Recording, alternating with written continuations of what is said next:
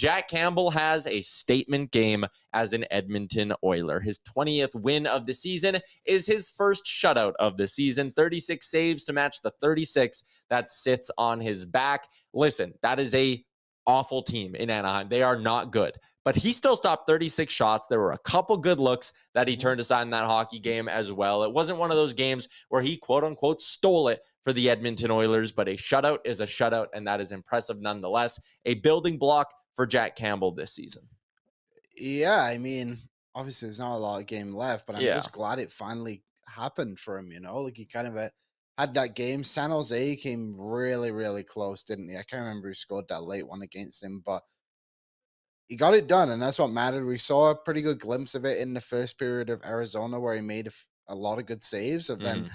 the game kind of got away from him in the third period. A little couple of squeaky runs, but they didn't occur on Saturday night, and that's the important thing is he stopped all the shots he faced, and hopefully that just helps him confidence wise going forward when and if we do need him at some point in the playoffs. Yeah, he's probably getting two more games this year. He's Yep. probably getting one of the two against San Jose, and he's getting one of these next two this week as well. And the Oilers are going to go into these games against LA and Anaheim and have in each of them a goalie starting who's coming off a shutout. And that is just absolutely crazy to think of. So it's been a nice run for the Oilers goaltending, and it all goes into what we said off the top. And that is everyone seems to be pulling in the right direction here. And that is awesome. I had uh, listener Colin who tweeted me and said, with Campbell's victory last night, it's actually the first time the Oilers have had two 20 win goalies since 86 87 with Fuhr and Andy Moog. Skinner Campbell is the only two other duo who accomplished this feat. So uh, that's that's a pretty neat little stat built in there, and it says a lot about what this Oilers team is doing right now. And it's again